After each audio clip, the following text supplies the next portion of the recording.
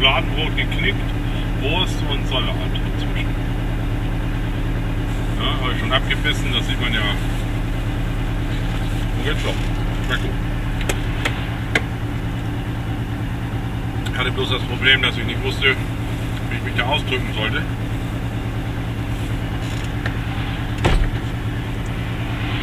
Und äh, vor mir waren aber zwei Inder dran.